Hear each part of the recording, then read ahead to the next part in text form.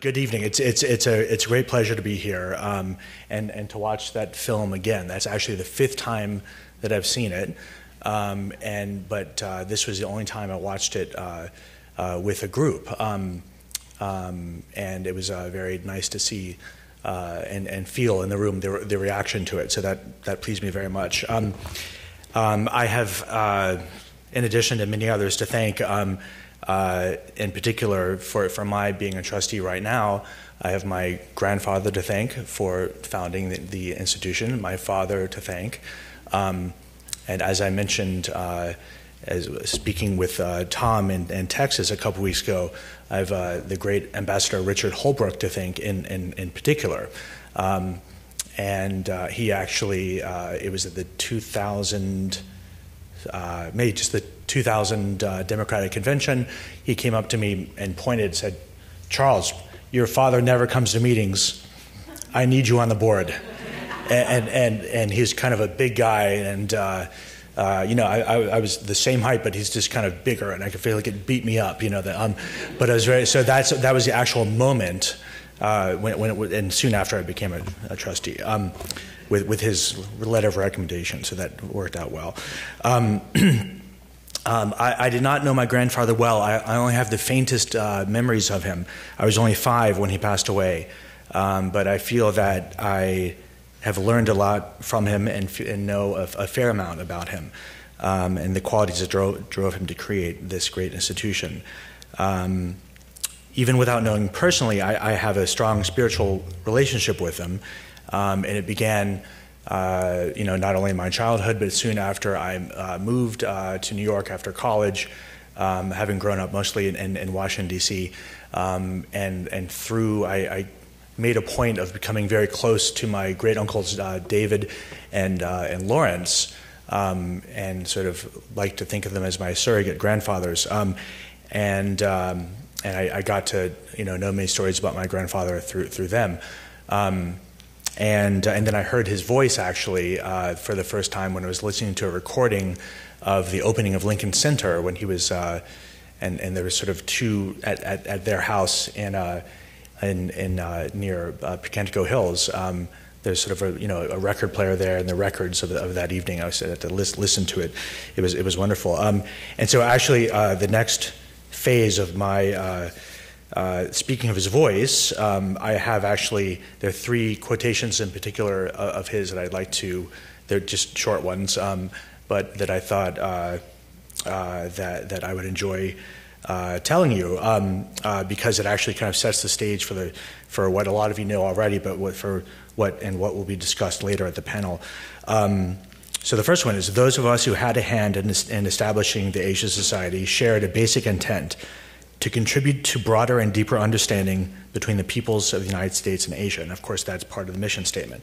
Um, I, I, found that one to be, uh, I, I, liked it because he was known to be a very modest man, and, and uh, you know, those of us who had a hand in, in creating this institution, I think, you know, his his hand was, he knew his hand was the, the biggest, um, but he just, again, uh, always uh, you know, it, was the group mentality. He also said, We founders of Asia Society were confident that Asians and Americans are capable of a richer and more meaningful mutual understanding because of shared hopes, fears, and aspirations. And it was that sharing that he felt very strongly. And the last one is there is a bond that should be, lead us to a mutual understanding and respect based not on mere tolerance of our differences, but on our awareness that the world is richer for those differences. And we as individuals are thereby richer in our humanity. Um, several of my grandfather's characteristics uh, to consider and how his, in his vision, how Bob Oxnam put it, that bold moment uh, that produced this great institution and its 60 years of work.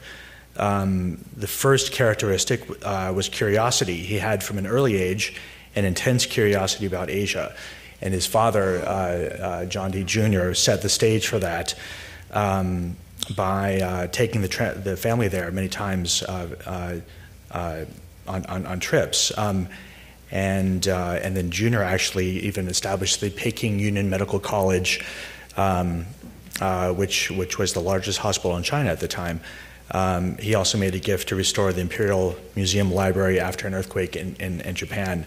Um, and uh, and they, they collected some uh, Asian art, but then my grandfather and, and, and my grandmother Blanchette uh, sort of did a lot more of it. Um, but they actually uh, they had a room in their vacation house in Maine, um, which was known as the Buddha Room, and it was just full of of, of, of Buddhas. Um, and then the the work that it took just to get those to Maine and then to the build the house and then have it at the top of the hill, just like the, the effort that that took, really showed an appreciation, I think. Um, so there was my grandfather at a very young age, spending time in China, Japan, and other Asian countries, a lot of time. And even when he wasn't actually in those countries, he was still feeling them through his parents' art collection um, while he was in the United States.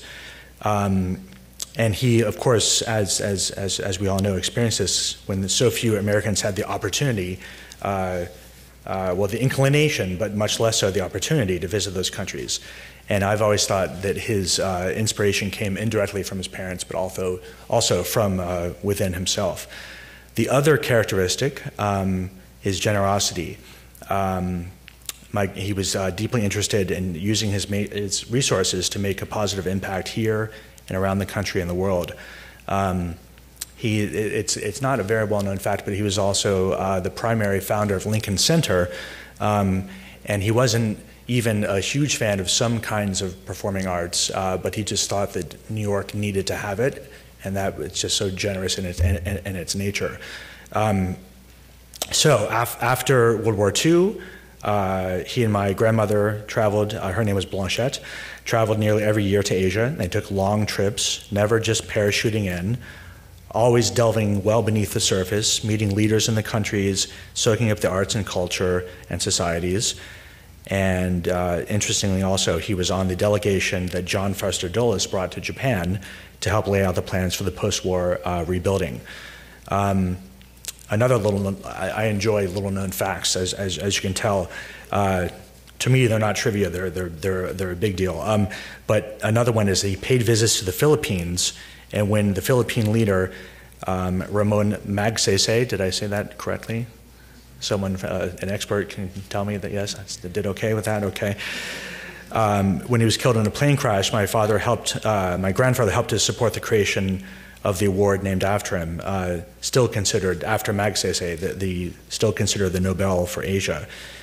And so, but back to the trips, though, he had some fundamental takeaways from those. And the first was that America, by and large, didn't know much at all about these countries, about Asia, or about Asia in general. Um, and as was said uh, by Mr. Brokaw, it was seen mostly as a place involving war and poverty and devastation. But my grandfather saw something else. He saw potential. He knew and appreciated the history and the heritage, and he believed that one needed to understand the arts and culture of Asia if you were to begin to understand the societies as a whole. Uh, two words often used to describe him are quiet and passion, mostly together. Quiet passion are the words um, associated with him. And in this case, it meant given his vision and passion for starting such a visionary entity, we shouldn't be surprised that he was able to create the Asia Society, sustain it so well, and leave it to future generations in such a strong position. Our family has uh, uh, proudly kept a connection to Asia Society. My father, and then me, and um, uh, and and actually we're uh, we're putting together an event uh, coming up in a few weeks for other younger members of the family to come here and uh, and to get to know the institution better. Um, but I, I, know for a fact that my grandfather would be so pleased and proud to to see all of you here tonight. Um, and to see how this organization has blossomed and flourished in the last 60 years, and that his mission lives on. Thank you very much.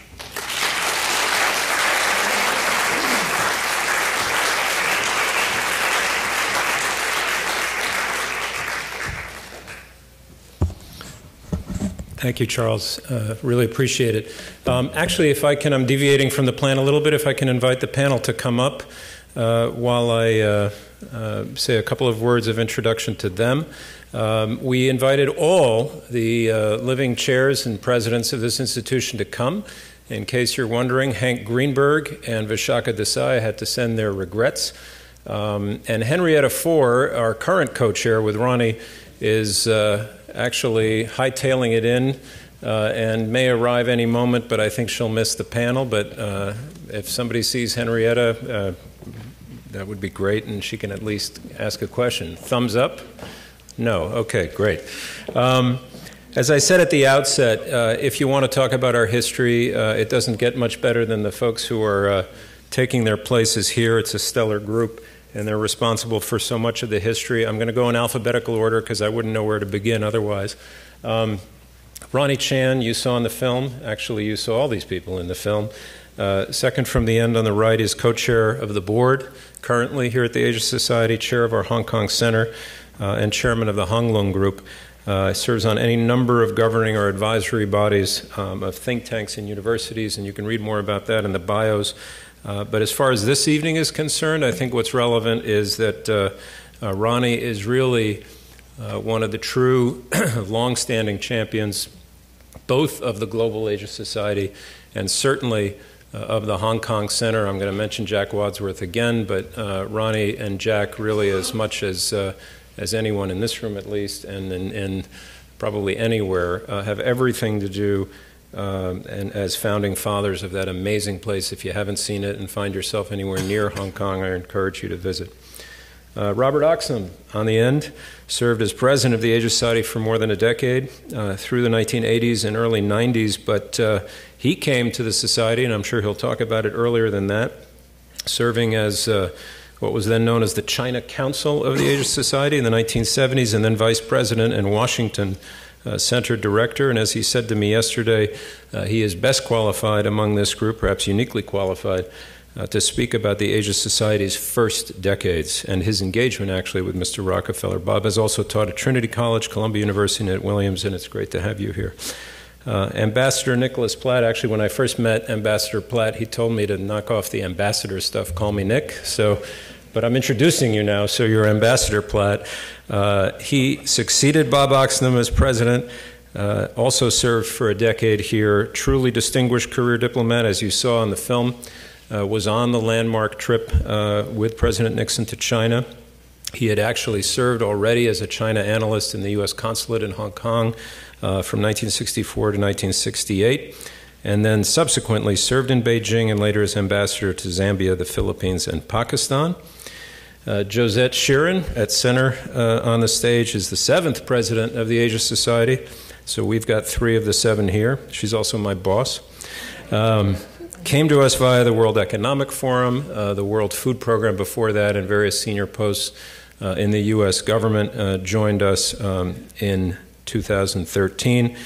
And our moderator, I guess, is the relative newcomer uh, to the organization, um, and about as distinguished as moderators get.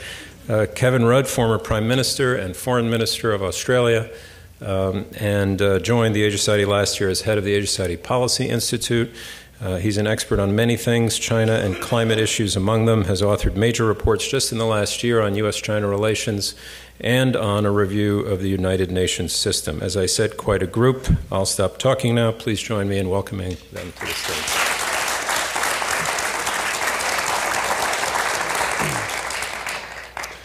Well, thank you very much, uh, Tom.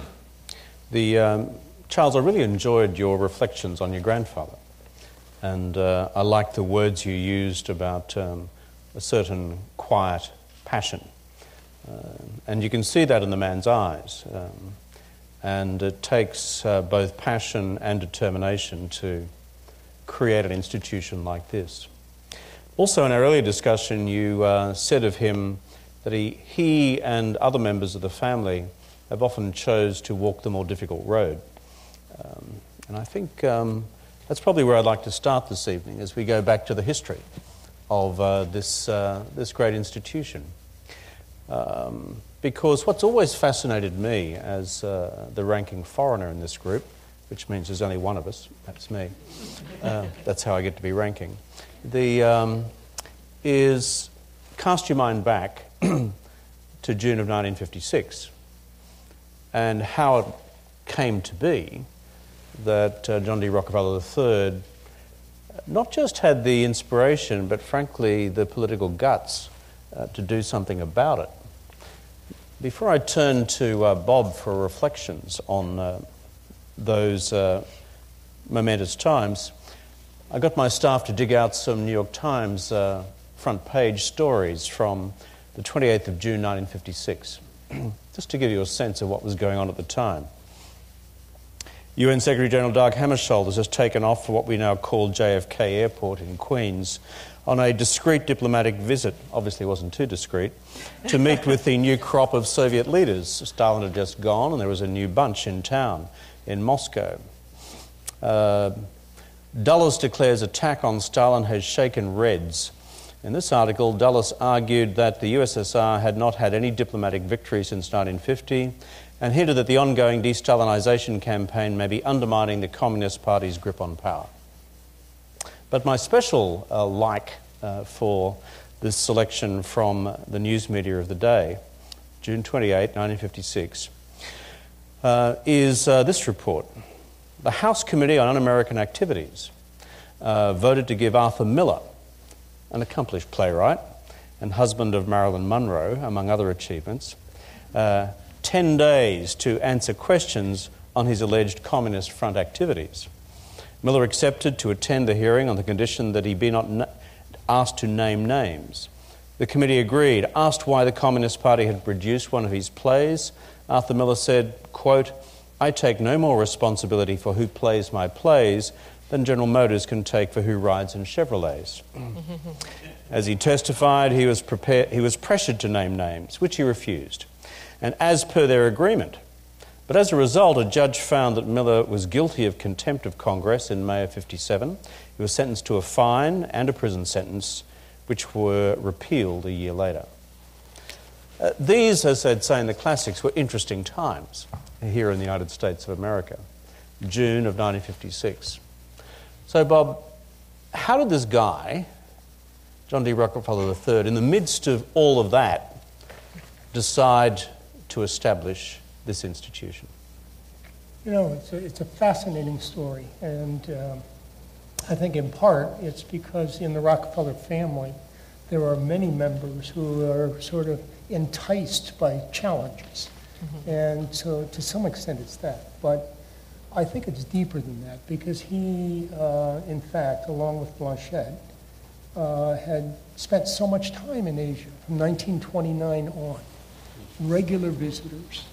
And by the 1950s, he was becoming a collector of Asian art and was advised by the famous Sherman Lee on, on that collecting, and therefore we now have one of the most fantastic collections here at the Asia Society. So he was hooked on Asia at that period. He was certainly aware of the odds against an Asia Society work.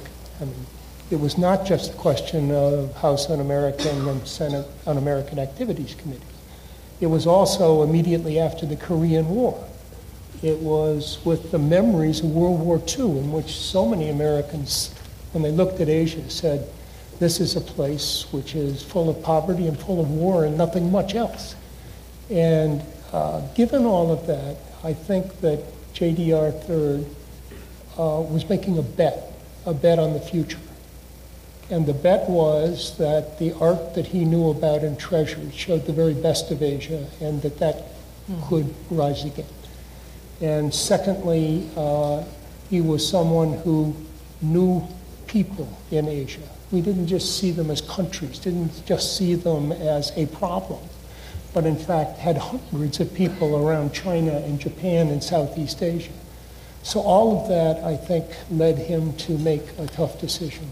And the one final thing about it is I, I had the, the pleasure of meeting JDR Third five or six times. When you saw him make a decision, and I saw it a couple of times in a board meeting that I attended, he began to smile just slightly and to indicate that he was determined that it was going to work out this way. And somehow the whole room came behind him at that moment. So all of JDR Third was in that really tough decision. Uh, Nick Platt asks if he can add a point. Am I going to say no to that, my friend? you could.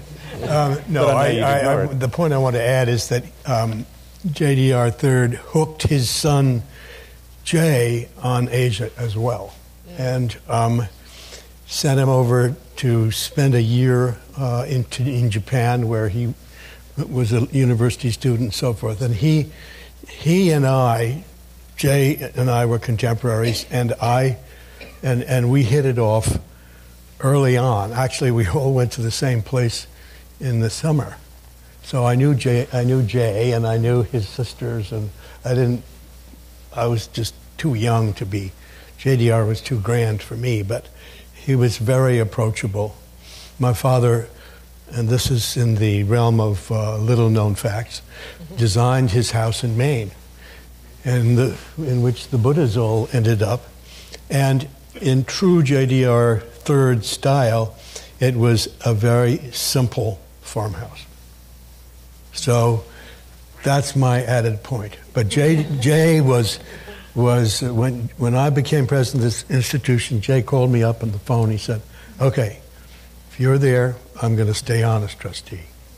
You see, it strikes me as this remarkable innovation as a family. I mean, I looked at um, some of the photographs before. Ronnie, you would have seen them uh, from um, J.D. Rockefeller uh, III's visits as a young man to China. Those were photographs, if I'm not wrong, from the late 20s, early 30s.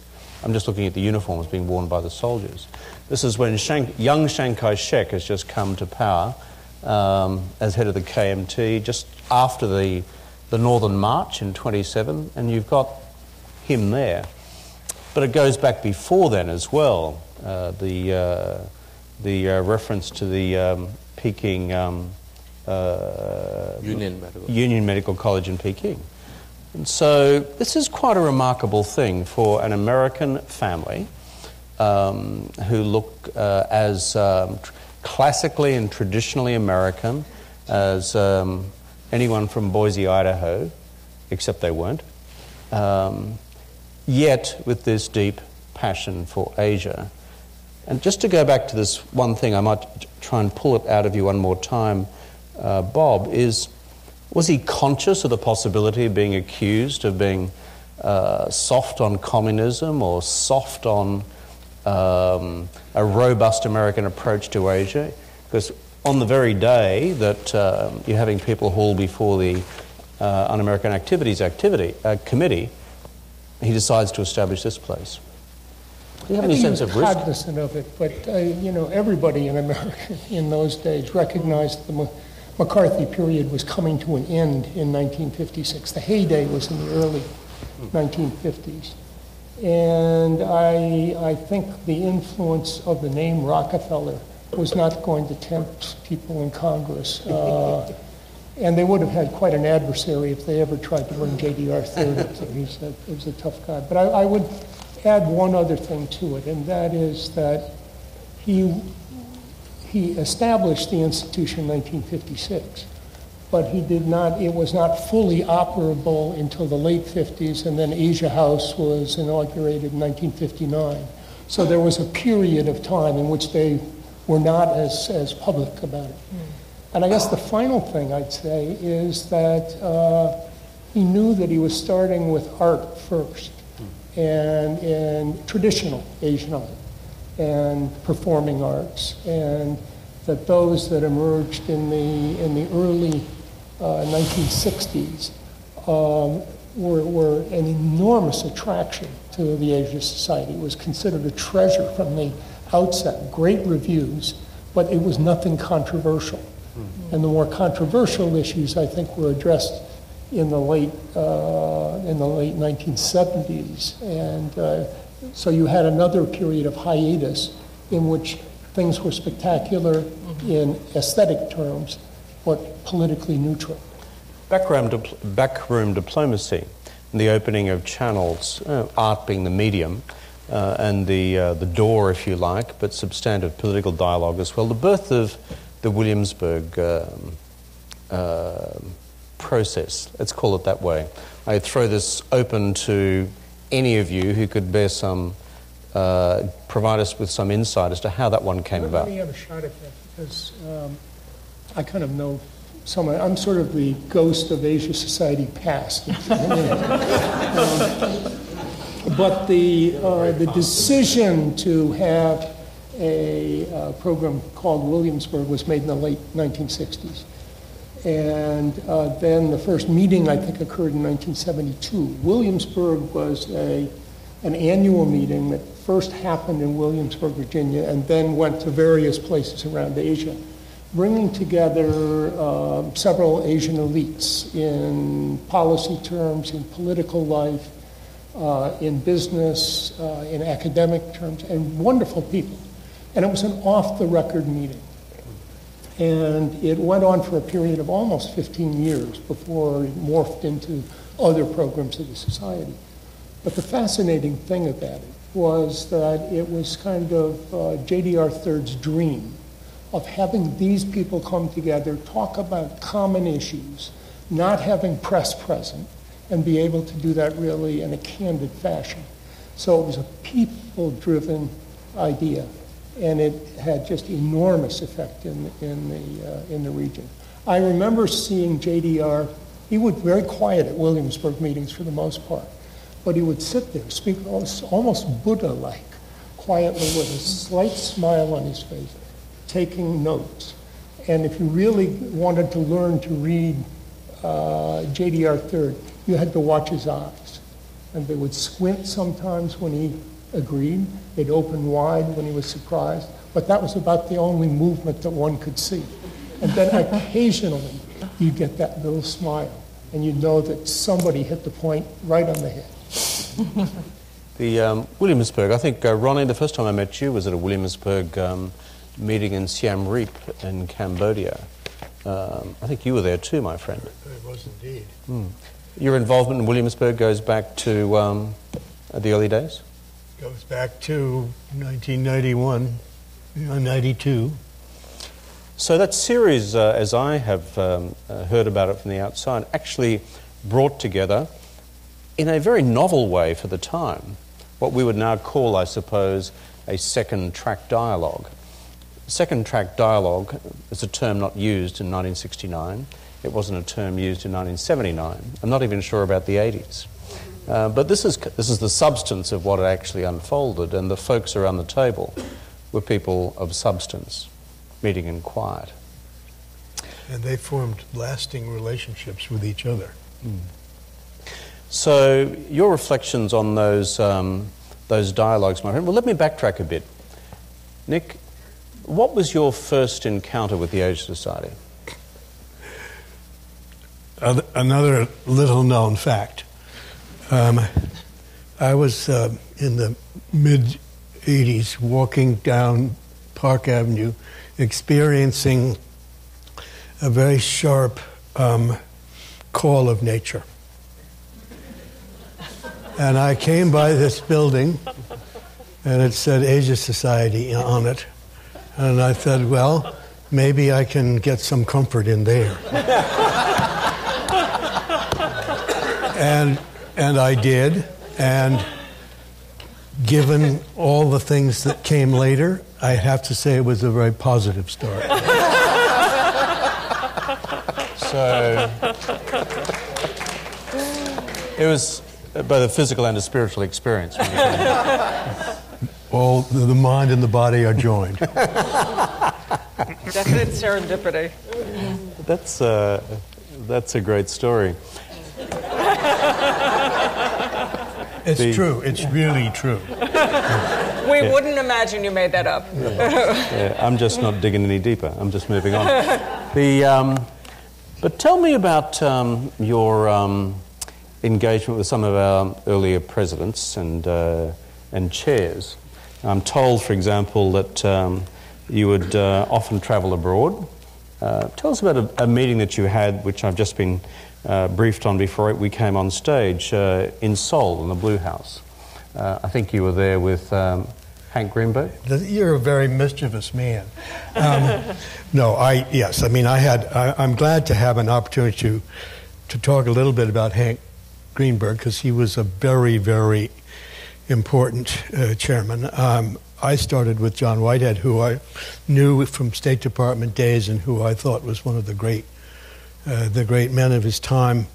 And Greenberg I knew well from my time as ambassador to the Philippines because he had big interests there and he he would always come and, and, and need a one on one briefing. And so I, I knew him as well. Anyway, we were uh, putting on a big corporate conference in Seoul.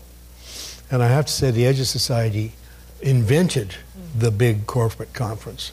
And the person who invented it was Bob Oxnam, who put a big show on in, in uh, Hong Kong and then in, in Bali, which got everybody's attention. And then everybody started doing corporate conferences. And uh, uh, they became dinosaurs who died. But in any case, But at the World Economic Forum, I have to say, they point to those Yeah. and Williamsburg as being the precursor for what we see today in Davos and other things. Exactly, Yeah. exactly. I, I, I, I. I, I, I think that's absolutely correct.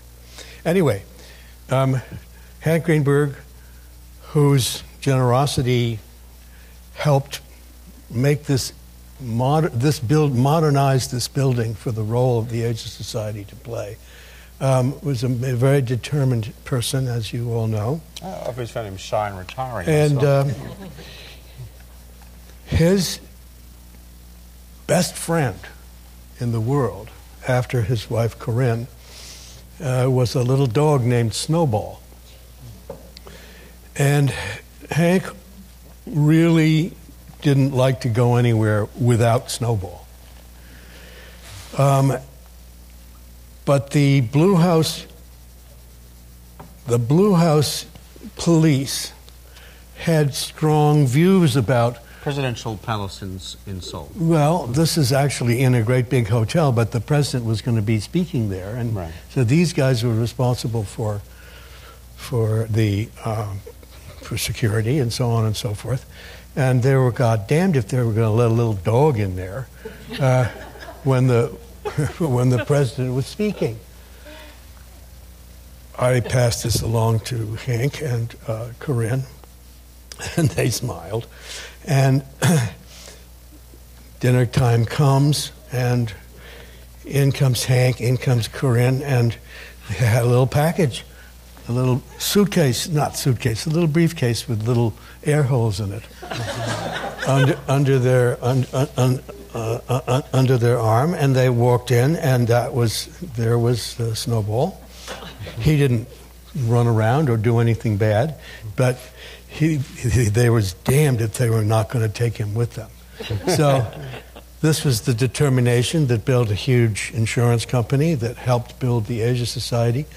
Uh, Hank was a trustee here for 26 years, in addition to being chairman for seven. So that's another little known fact. The, uh, the snowball interaction with the Korean president. Yeah. I'm sure they would have gotten along fine if they had to, but but the, the policemen, nothing they could do about it. They were presented with a very polite, firm fait accompli. in uh, inimitable Greenberg style. Now, Ronnie, Chan. There's a. Um, we've seen this extraordinary um, footage uh, just now on the uh, on the movie about the Hong Kong Centre. Many of us have seen it. Most of it. Uh, most of us take our hat off for the work you've done there. So, where did the idea come from? When did you start planning? Uh, I presume it was just smooth sailing all the way. Tell us a little bit, just tell us a little bit about how you turned that idea into what we see today. I'll be brief. Um, I attended the very first meeting of uh, the Asia Society in Hong Kong. Nick, uh, you, no, Bob, you were the one who came with John Whitehead Yeah. in 1990, I think. Correct. And before that, uh, you guys came many times, but no response. Nobody was interested until uh, Tiananmen Square in 1989. And then um, Willie Purves, the then chairman of HSBC, um, really responded and gathered a group of people together, um, including um, Sir Q. W. Lee, who became the founding chairman uh, in Hong Kong. In 1994, I was attending one of the uh, annual corporate conference with uh, Nick, and uh, Nick really made no, no mistake, really, uh, serving as president except once, and that was he invited me to join, uh, to, to, to, to chair the Hong Kong Center. because Sir Q. W. wanted to retire. And so, long story short, I, I served, and I, in 1998, uh, we hired a very capable lady, uh, Marilee Turner, to be the Hong Kong Center Executive Director. And I told Marilee, I said, Marilee, you warm the seat for one year, and I'm out of here. Uh, I would have self- served five years. Uh, time to go, have new blood in. Uh, and um, the only problem is uh, I invited somebody to be a, who happened to be a troublemaker uh, to the advisory council of the Hong Kong Center, and he's sitting in the front row is Jack Wadsworth. and uh, Jack came to the meeting one day that I chair and said, uh, "I think it's time for us to have a permanent home in Hong Kong." And, um, and everybody said, yeah, yeah, good, great idea. I shut up because I know what it means. It means a lot of work for me. Um, and so that was 1999, I think it was. Uh, and we found a place. And then um, I can't leave because um, as the chair, you know, I know CH Tung, who was very helpful, who was already the chief executive of Hong Kong. Uh, after 1997, uh, I have connection with the jockey club and all that stuff. I need to raise some money. Uh, and then CH Tung gave us the site uh, together with the then uh, Chief Secretary Anson Chan and Financial Secretary Donald uh, Tsang. Uh, and then I need to go to Jockey Club to get the money. And so eventually I got the first 102 million Hong Kong dollars, which is roughly uh, 13 million US dollars, and that's how we began. Then you know, I have always run Asia Society in Hong Kong in a very lean and mean way. We never uh, am in the in the red always in the black until the last two years before we opened the Hong Kong Center. It was just, you know, horrific. Uh, we started with, uh, we thought that the budget is going to be 200, roughly 205 million Hong Kong dollars. It ended up uh, 500 plus million Hong Kong dollars. Uh, and I can't, le- I can't leave anymore because how, how do you leave the chairmanship to somebody else and say, you pay, right? you, know, you find a, uh, and so it really um, took us a while to, uh, to, to get our uh, books back together. But once we opened it in 2012, and many of you were there uh, for the opening, I think I must say that Jack, I don't know if it took you by surprise, but it took me by surprise. Jack is a foresighted guy. I was just a, I, I, I was just a, I was just a backroom guy doing all the dirty work, you know. Mm-hmm. Uh, but then once we opened the, the Hong Kong Center, I realized, my, we have changed the Hong Kong Center what I didn't know at the time was we might have even changed the Asia Society in some, in some ways. Um, and, and, and, and, unlike in New York City, where there's a lot of competition hmm. in arts and culture, in, in business and policy, in Hong Kong, there's almost no, no competition. You know, by the way, let me go back to say one thing about the Williamsburg, uh, which I also attended many a times, uh, and then later the annual corporate conference that Bob started and Nick continued. You know, in those days, to talk about Asia is an unusual thing. Hmm. It's really Asia Society in Asia that first started to gather people together to talk about Asia. And of course, Asia's relationship with the United States and with the rest of the world. Now everybody does that. And so we're now on to doing something else. So Asia Society has a track record of always doing uh, avant garde, always in, in, ahead of everybody. And same with the Hong Kong Center. Uh, and um, uh, for those of you who have not been to the Hong Kong Center, uh, my sympathy, but you can correct that by just coming uh, on the next flight and give us a call first. Um, we run 200 some programs a year there. Uh, it is really an architectural uh, gem. and um, I just love the place. By the way, I don't go to my Hang Lung office too often these days, only as necessary. But rest of the time, I have a little cub- cubicle at the corner uh, of Asia Society, and I just love the place. But let me. Can I, can I just ask how many people in the audience have been to the Hong Kong Center? How, how wow, wow. It's amazing. So, those of you who have been there, it's in Admiralty. It's one of the only horizontal structures in Hong Kong, and especially in that location. And I moved there for three months this past spring. And on the first day I was there, a wild boar was on the loose on the property in the middle of Hong Kong, and that's how extraordinary the setting is. But this has become an incredible hub, and I, frankly, having been all over Asia for the State Department and the US government, I think it's the best public policy center in Asia that I've seen. It is spectacular. So if you haven't gone, you need to. Mention the award. Oh, we won many, many uh, No. architectural awards. And this year, we were picked by AIA, uh, American Institute of Architects. Every year, they pick 11 buildings from around the world as the best, designed by uh, AIA members, and this year, we're, we're one of them. A couple of historical, Kevin, can I a historical perspective. One from Nick and then over to you, Bob. Um, I think that the Asia Society Center in Hong Kong was born out of Tiananmen. 89 Tiananmen. People in Hong Kong are very worried. People are worried about Hong Kong's continued existence as an international city. Hong Kong people, as it was explained to me, wanted a vote of confidence from the international community as they thought was best represented by a Rockefeller institution in the, in the U.S. So they took the initiative. I wasn't there at all.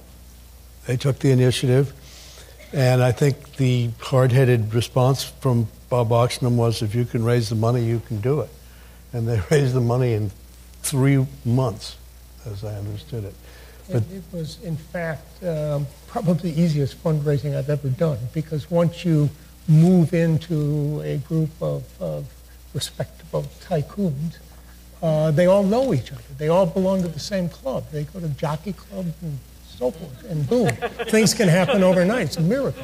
Try to do that in New York City. when it came time to sell the uh, government um, uh, this, uh, on the concept of a, of a permanent home, the same dynamic came into play. And the arguments that we made to C.H. Tung was now that you're part of China, this was after the 1997, um, I, th- there is some sense that, Chi- that uh, the, the Asia Society that Hong Kong needs another vote of confidence uh, from the international community. And what could be better than having a permanent home for the Asia Society? Bob? Kevin, no, no, no, go ahead. Bob? The the founding of the Hong Kong Center was easier in terms of fundraising than it was in politics, though, because uh, Tiananmen occurred just as we were beginning to launch the first idea. And the money was there, but there were loads of people who said, look, get out of China, get out of Hong Kong. This is something we must protest. It's a matter of conscience. Of course, it was. And one of the most interesting meetings I had was with John Whitehead. We sat down right after Tiananmen happened. We said, Here in New York? Right here in New York, in his office. Yeah. And said, what are we going to do? We've got, a, we've got an annual dinner coming up next week. And how are we going to deal with it? And he and I talked for about two hours, and we came up with the same answer, and that is you have to be critical, you have to state yourself uh, as a non political institution, but you're speaking as individuals, and you have to do that at an annual dinner, and then you have to stay engaged. And I think out of that, there was respect for the Asia Society uh, taking that kind of stand, and there was also a recognition that we weren't an enemy of the Chinese people. We were saying something about uh, a terrible moment in Chinese history. I, I want to take, uh, just say two other things. Um, one is that once we actually had a center in Hong Kong, before we had the building, there was this tremendous inauguration of, I think it was in 1991, wasn't it? It was- That was 901. Bob and Scalapino and and Bob Scalapino was a speaker, but also it was not the one that Henry Kissinger came to. No, The, was the launch was. The launch was before. anyway, uh, I've got to tell you how uh, John Whitehead introduced Henry Kissinger. It was one of the cleverest comments I've ever heard. He said, Henry Kissinger is a remarkable man, but I've got to say he's one of the most modest people I've ever met. You look around the room, most modest people, Henry Kissinger. And he said, for heaven's sakes, just, just today, he said, we were coming into the airport, and he saw this sign, Welcome to HK. And he thought it was about himself.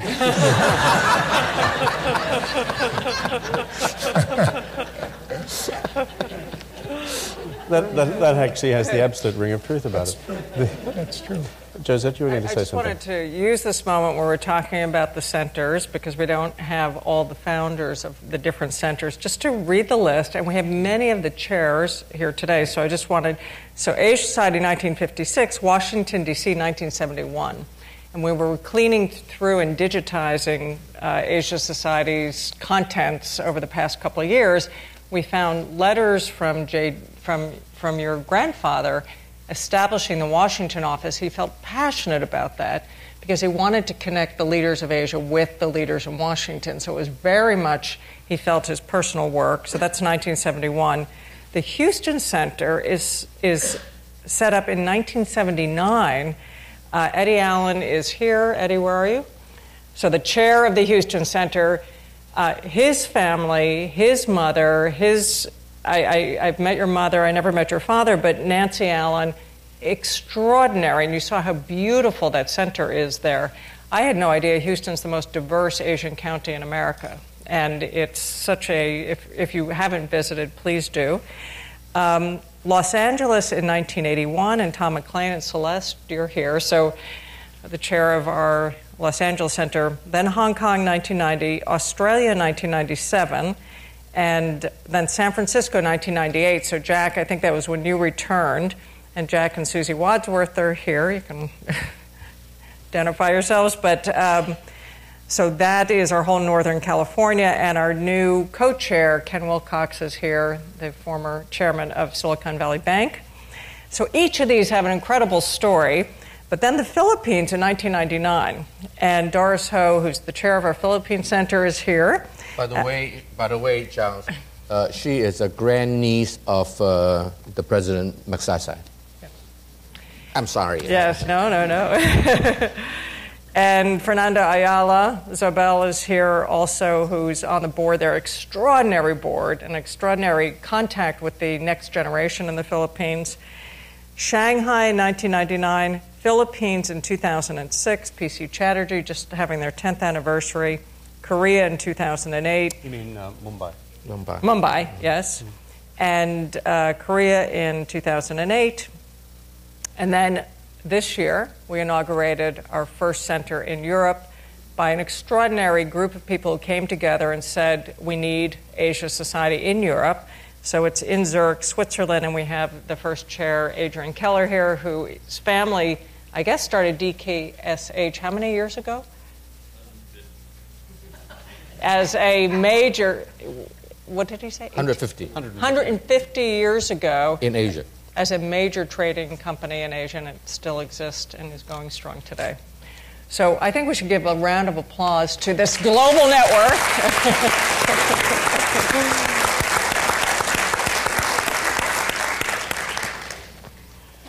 It's interesting when you start to put the evolution of the place together and uh, to take, uh, I think, Ronnie's point earlier on it's an institution which, since 56, has been in the business of continually reinventing itself.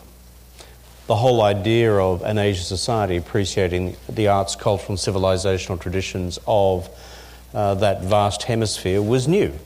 Didn't happen anywhere else in the United States at that stage, or anywhere else in the Western world for that matter.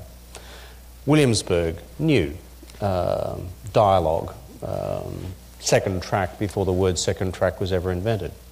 New uh, Asia Society corporate conferences um, pioneered the idea. New, taking it out of New York into Asia and now into Europe. As we all now confronting the Asian century uh, are required across whichever continent we come from to understand the vastness, the diversity, and frankly the antiquity of this um, extraordinary part of the world. So you see this pattern of constant reinvention, uh, which brings us uh, to, uh, to you, Josette. Um, you're now the president of the Asia Society. You've been digging into um, the archives, uh, looking back at uh, how people have innovated within this institution over 60 years. Your reflections on that, but also a, a, a few reflections on uh, what next mm-hmm. and into the future. Uh, surely. Um, so, for this anniversary, I did go up to the archives, which are on the Rockefeller estate in Pocantico. If any of you have not gone, these are a treasure not just for Rockefeller institutions, but they also now keep the archives for many significant foundations like the Ford Foundation and others. And it's a true service. It's an extraordinary place with incredible curators and researchers that look into this. And we became interested in when did the Rockefeller family get interested in Asia? Um, and the earliest thing that we came up with was uh, in the early 1860s. Um, the original John D. Rockefeller, who was not a very wealthy man at that point, and he grew up a very poor man, but he um, always tithed a significant portion of his income. And he kept a ledger so we know every penny he ever spent, ledger A, right? And this very famed ledger is there in the archives, you can actually see it. But he uh, donated half his monthly salary to uh, help hungry children in China in, I think it was 1863. That's extraordinary because he grew up in western Pennsylvania and then Ohio, and this wasn't quite the thinking at the time. But um, if you look at the history of his, the legacy institutions, so the Rockefeller Foundation has given the second largest contribution that's given over its history was to China outside of the US. And not only did that create institutions throughout the world, but the Peking Medical Union College was really the first medical training school in China, and it had branches all over China and really an incredible legacy to this day. So it struck me that this appreciation for Asia and in the diaries and the books, whichever ones you pick up, it's never about a misunderstood Asia. It's this deep respect for the history and cultures of Asia. And, um, and so that really strikes me. That DNA was so new. And also, you know, today you see many institutions in the United States and elsewhere saying, oh, we've got to open offices in Asia. Maybe in the 90s that became a big thing. And certainly for public policy institutions, you see a number in the US now saying, you know, we've got to get a foothold here or there. As you see, this institution was doing this decades ago and really doing it when it mattered most. It struck me when um, the vice premier of China, Liu Yandong, was here a few years ago, two years ago, and she's the only woman in the top 10 circle, and she spoke to a very crowded audience here in New York. And she said, You know, I'm so glad you all want to see me. And she said, I'm remembering back to my first trip to the United States, to New York, and it was about 1982, and she said, Nobody would see me. She said, I was vice president of the Communist Youth League, and she said, I couldn't get appointments. And she turned to me and she said, Except at, at the Asia Society. And she said, The Asia Society took me around and introduced me to who I needed to know, and I came to appreciate what this country was all about. It was this guy that was doing it. But that was, it's a remembered story. And to me, Charles, the gift that your family has given not only to this institution, but to this country is a, a long narrative of respect and appreciation, and we continue to build on that fabric. And so that's something that I think is critical. Um, today, as we look ahead, I think um, I'm struck by the political tone in America today, and I think the fact that institutions like ours become the fabric that we need to fall on. And if you think of the great people that founded this institution, and I just want to recognize Lucina Hoke, and I understand your families here, your daughter Alex and her husband, your husband and you, pioneers with John D. Rockefeller, you knew him well, Wash SyCip. These were people who remembered what the world was, world was like when it fell apart. And anyone who had lived through World War I or World War II and understood how bad it can get, never take for granted, I find, the fact that open borders, trade, shared prosperity, building a shared future, all these things are very fragile. And it was built by people who knew what it could be like without that. And so, to me, the handshake between generations is so critical here. And to really be sure we carry that legacy forward and try to protect these connections that have been built that I think are so critical. Uh, I'm going to talk to trustees tomorrow about something I'm calling 40 under 40, that 40% of our audiences be under 40 years old, that we make sure that we build that kind of future here because we have to have that dialogue while we still have great leaders like Wash here and others to really hand on that tradition. And Charles, it's what I feel is our responsibility at the 60th anniversary. So, yes, we've rebooted Rockefeller. We've come cool. Our website's amazing. We're going to use technology to connect us. We're going to have members all over Asia who can join, whether they're in Kazakhstan or wherever. We don't even need a center because they can join onto our digital dialogue, on all those things.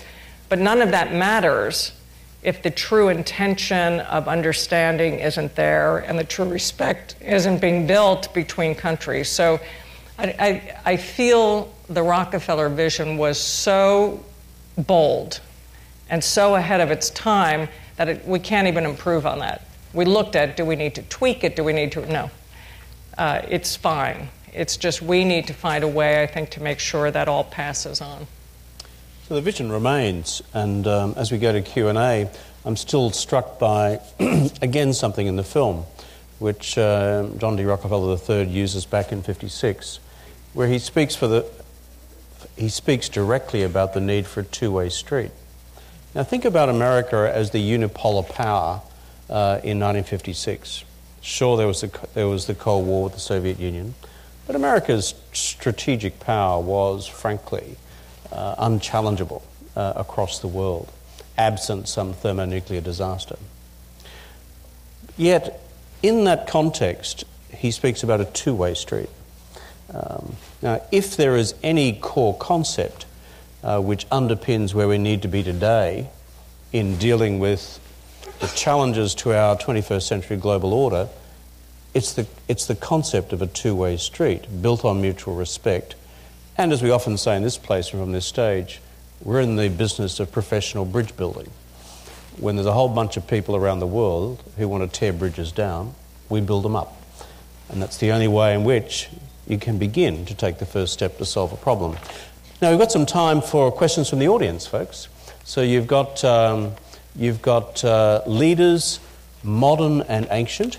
Um, you have leaders all experienced and great uh, who have seen this institution uh, from the get go, almost, uh, or at least have known people from the get go. So, any questions from the audience? If you could simply um, uh, indicate uh, by um, throwing your hand in the air. There's a gentleman up there. We'll bring a microphone to you. And if I could just mention, we also have the great Hal and Ruth Newman here. And Hal, you also have been someone who's really made sure the next generation knows how important it is to do this work. And I just want to recognize that and thank you for that. Sir, uh, thank you, Chairman. Uh, my name is Dick Drobnick from the University of Southern California. Um, to, to any of you, uh, what do you see as the most important challenge for the Asia Society going forward over the next 10 to 15 years? And how will you approach that challenge? Let me begin. Um, Asia Society has been able to keep bridges and build bridges when the external environment is to tear down bridges. Consider the fact that 1990, Nick began to, 91, begin to work on Iran behind the scene. And when the deal was signed recently, what, two or three years ago, if not for the fact that uh, Wall Street Journal, you know, blew the cover, so to speak, and exposed it, nobody would have known that Asia Society was really behind the scene working. Myanmar being another one, as you saw in the film. And in the next 10 years, uh, I see a lot of possibilities of suspicions across the Pacific. And while all these perhaps difficult situations may arise, I think it, it behooves us as the Asian Society to be the sensible voice. We may say, say things that we have to say, but at the same time, we're not here to burn bridges. I think that such an institution um, must exist. And I think that we, perhaps more than, or at least as much as anybody else, should and can fill that role. I think it's important to remember that bridges require maintenance. and um, a lot of bridges that we have built uh, have, are, are still quite fragile and need to be um, reinforced. And I think Iran is one of them.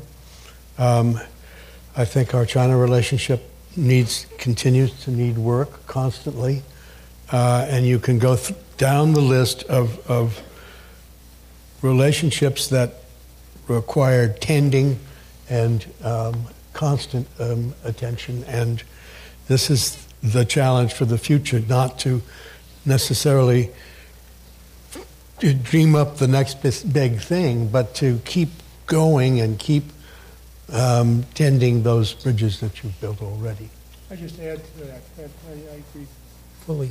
But I think when one uses a term like pivot to Asia and then doesn't, that you're making a mistake in international relations. And I think the pivot to Asia could come depending on how the vote goes in, uh, uh, on November 8th. But the, um, I think the key issue is having a State Department whose Asia specialization is very high and having institutions like an Asia Society and academic institutions that are supportive of knowledge about Asia working in a kind of cohesive fashion um, to try to support your notion of maintaining the bridges.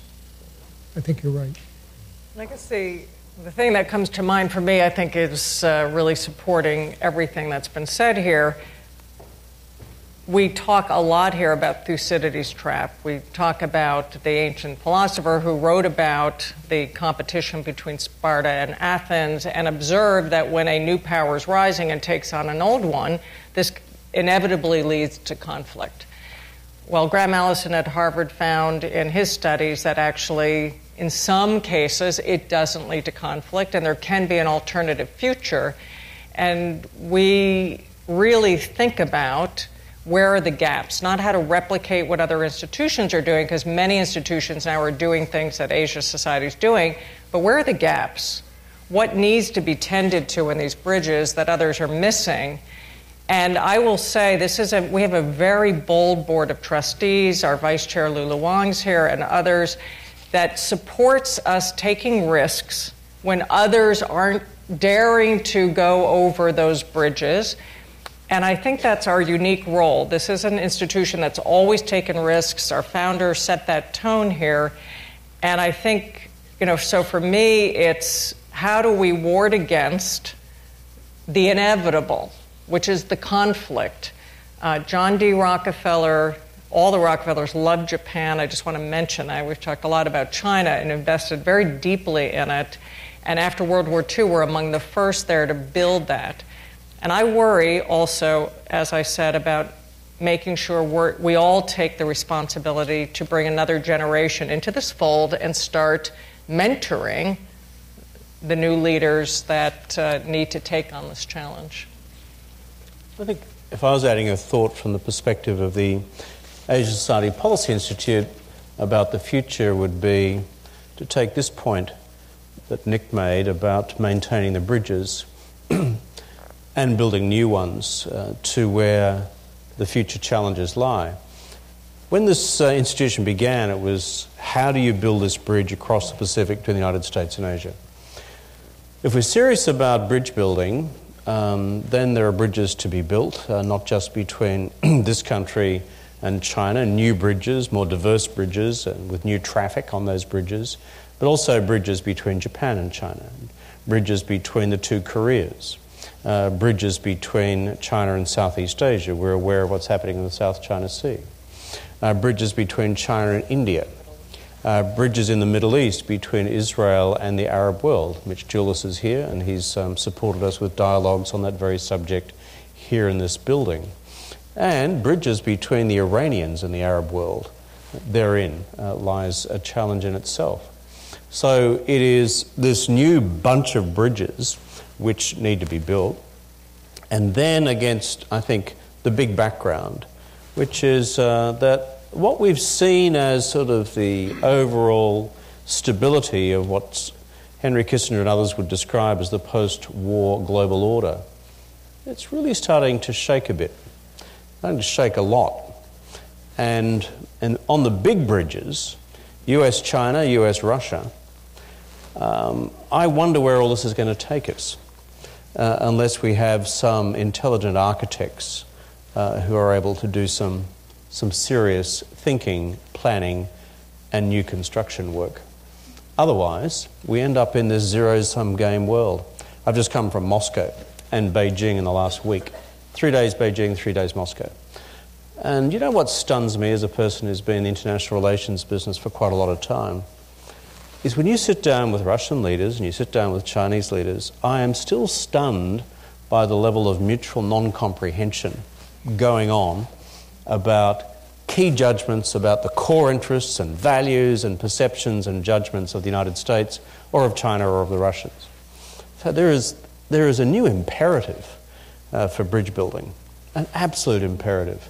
Otherwise, we get thrown into a reverse direction. Moscow, I was debating this guy called John Mearsheimer. Do you know him?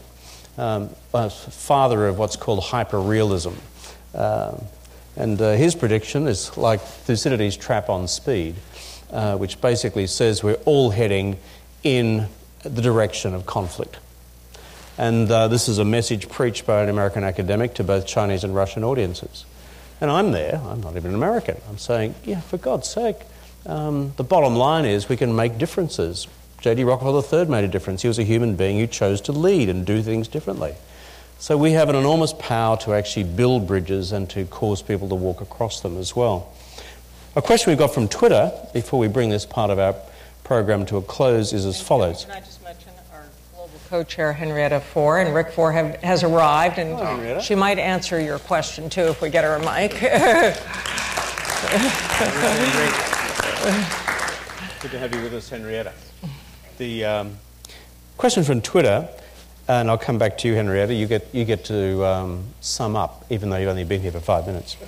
Um, it's tricky, but I've done it before.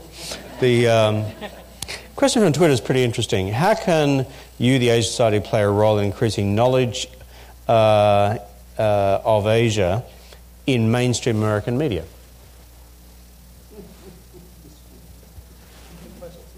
How can we, the Asia Society, or how can you, the question is coming to us from a Twitter follower, play a role in increasing the knowledge of Asia in mainstream American media today?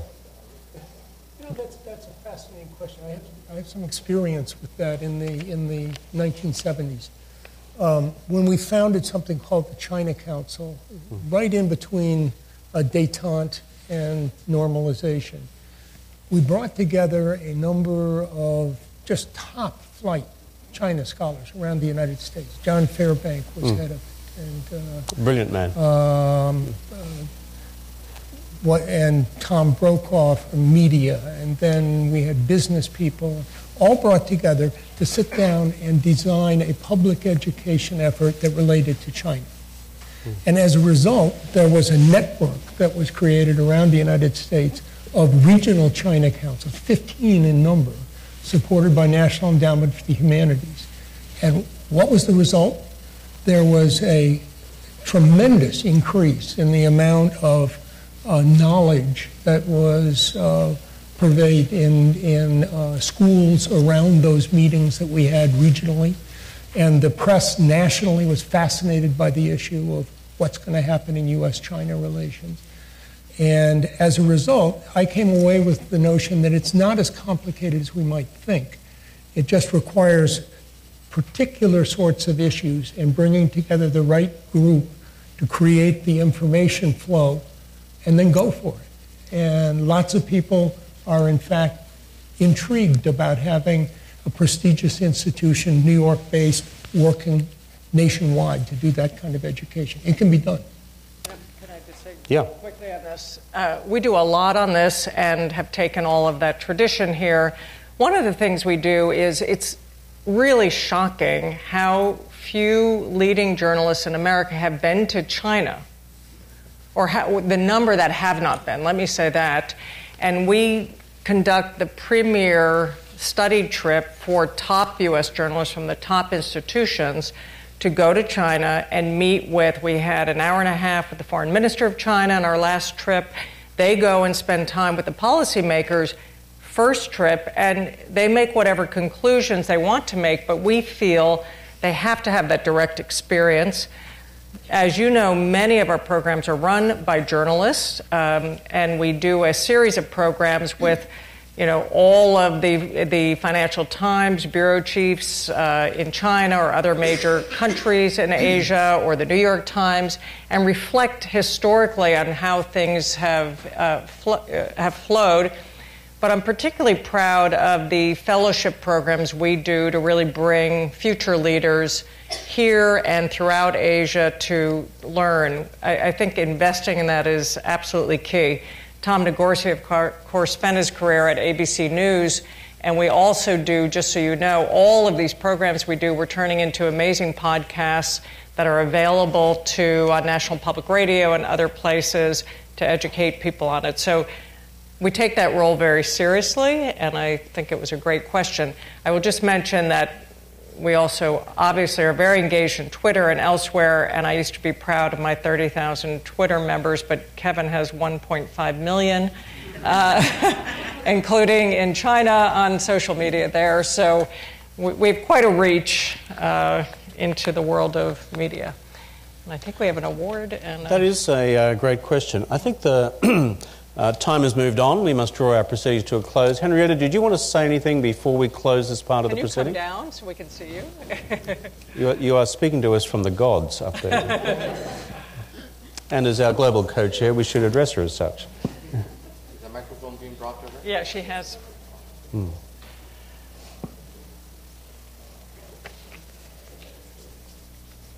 Just come up to the podium. All right. Well, thank you. It is great to see all of you, uh, and it is great to see all of you. And I know that I missed the film, but a 60th anniversary does not come along very often. But I am, thank you, Kevin. but I am delighted that we have a 60th anniversary and that we can celebrate it and that we can celebrate it with our friends. Uh, the past 60 years have been important in history and in bridge building, but the next 60 years, I think, are going to be much more difficult.